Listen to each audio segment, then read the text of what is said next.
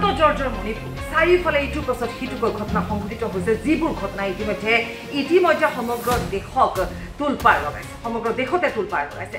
মণিপুৰৰ ঘটনাৰ যি অৱৰ্ণনীয় এটা পৰিস্থিতি মণিপুৰত সৃষ্টি হৈছে সেই অৱৰ্ণনীয় পৰিস্থিতিৰ সন্দৰ্ভত সকলো অৱগত। কিন্তু তাৰ মাজত এনেকুৱা এটা ঘটনা সংঘটিত হ'ল যিটো ঘটনাৰ পিছতে এতিয়া সমগ্ৰ দেশবাসীয়ে গৰিহণা দিছে এই ঘটনাটো চাৰি তাৰিখত চাৰি মে' কোৱা হৈছে চাৰি মে' বুলি কিন্তু এই ঘটনাটো প্ৰকৃততে কোনদিনাখন সংঘটিত হৈছিল সেয়া এতিয়ালৈকে জানিব পৰা হোৱা নাই বা সেয়া পৰিষ্কাৰ ৰূপত অহা নাই।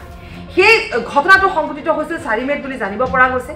দুগৰাকীকৈ মহিলাক দলবদ্ধভাৱে ধৰ্ষণ কৰি উলংগ কৰি তেওঁলোকৰ এটা সমদল উলিওৱা হৈছিল বা সেই সমদলত তেওঁলোক লৈ অনা হৈছিল। এনেকুৱা এটা বিভৎস ঘটনা যাৰ বৰ্ণনা কৰিব পৰাকৈ আচলতে শব্দ নাথাকে।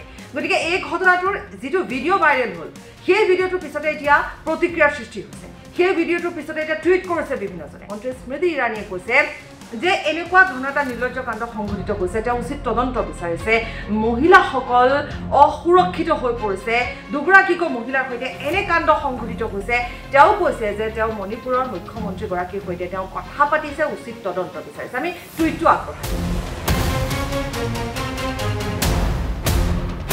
দ্বিতীয় টুইটটো অক্ষয় কুমাৰ অভিনেতা অক্ষয় কুমাৰে টুইট কৰিছে। তেওঁ গৰিহণা দিছে। তেওঁ কৈছে যে অতি দুখ লগা এটা ভিডিঅ' আচলতে প্ৰকৃততে ক'বলৈ গ'লে এনেকুৱা শব্দবোৰ নহয় আচলতে এই এই ভিডিঅ'টো অতিকৈ দুখ লগা এটা ভিডিঅ' যিটো ভিডিঅ' কথা আমি ইতিমধ্যে আপোনালোকক কৈছোঁ যে এই ভিডিঅ'টোৱে সঁচাকৈয়ে সকলোকে জোকাৰি গৈছে সমগ্ৰ দেশবাসীক জোকাৰি গৈছে।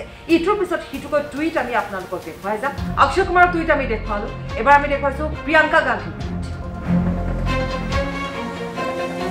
প্ৰিয়ংকা গান্ধীয়ে টুইটটোত উল্লেখ কৰিছে এটা গৰিহণা দিছে আমি ৰাহুল গান্ধীয়ে এটা টুইট আনিছোঁ সাংসদ গৌৰৱ গগৈ প্ৰতিক্ৰিয়া আগবঢ়াই ল'ব বিচাৰিছোঁ मुझे लगता है कि सबसे पहले मणिपुर को लेकर प्रधानमंत्री सदन में आकर अपना बयान रखे शांति की कामना करें और साथ ही साथ आज मणिपुर के लोगों से प्रधानमंत्री मोदी जी को अपने विफलताओं के लिए माफ़ी मांगनी चाहिए এয়া আছিল সাংসদ গৌৰৱ গগৈৰ প্ৰতিক্ৰিয়া ঠিক তেনেধৰণে প্ৰতিক্ৰিয়া ব্যক্ত কৰিছে সকলোৱে বিভিন্নজনে প্ৰতিক্ৰিয়া ব্যক্ত কৰিছে তাৰ মাজত মণিপুৰ আৰক্ষীৰ এটা টুইটো আমি আগবঢ়াই ল'ব বিচাৰিছোঁ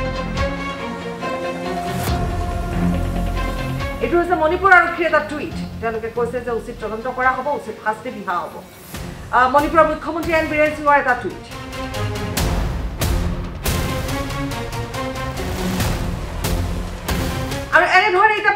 প্ৰতিক্ৰিয়া ব্যক্ত কৰিছে টুইট কৰিছে ছ'চিয়েল মিডিয়াতো ইতিমধ্যে বিভিন্নজনে প্ৰতিক্ৰিয়া ব্যক্ত কৰিছে। কিন্তু সমগ্ৰ ঘটনাটোলৈ যদি প্ৰতিক্ৰিয়াৰ কথা আমি কিছু আঁতৰাই থওঁ আমি যদি সমগ্ৰ বিষয়টো ৰাজনীতিকৰণৰ পৰা কিছু আঁতৰাই থওঁ মানৱীয়তাৰ দিশেৰে যদি আমি চাওঁ এইটো এটা সঁচাকৈ অতিকৈ দুখ লগা অতিকৈ বিভৎস ঘটনা সংঘটিত হৈছে। এনেধৰণৰ ঘটনাৰ উচিত তদন্ত হ'ব লাগে আৰু দোষীয়ে উচিত শাস্তি পাব লাগে।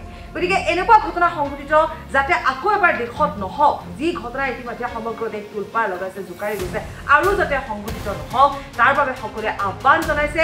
অন্তত এই মুহূৰ্তত আমি ক'ব পাৰোঁ যে মণিপুৰত ইটোৰ পাছত সিটোকৈ যিমানবোৰ ঘটনা সংঘটিত হৈছে সেই ঘটনাবোৰৰ পিছত এই ঘটনাটোৱে কিন্তু সমগ্ৰ দেশক জোকাৰি গৈছে। আৰু যিমান পাৰে সোনকালে এই বিষয়টো সন্দৰ্ভত চৰকাৰে ব্যৱস্থা গ্ৰহণ কৰিব লাগে।